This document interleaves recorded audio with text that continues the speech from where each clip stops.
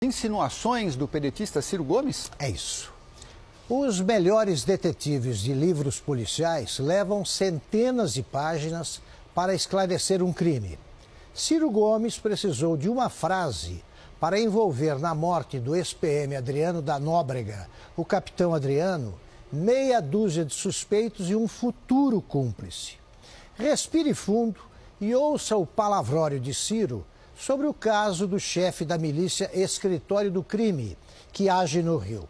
Abre aspas. Se Sérgio Moro não esclarecer cabalmente este estranhíssimo encadeamento de fatos, que inequivocamente estabelece vínculos entre Bolsonaro, filhos e mulher, Queiroz, as milícias do Rio de Janeiro e o assassinato de Marielle Anderson, terá se transformado em cúmplice. Fecha aspas.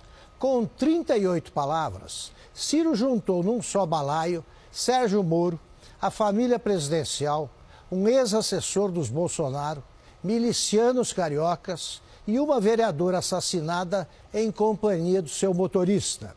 Não explicou bem o que fizeram, nem detalhou de modo inteligível o encadeamento de fatos que considerou estranhíssimo.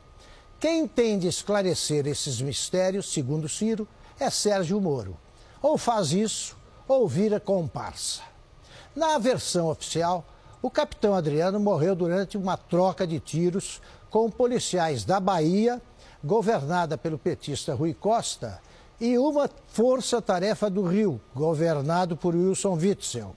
Os dois governadores são inimigos de Bolsonaro.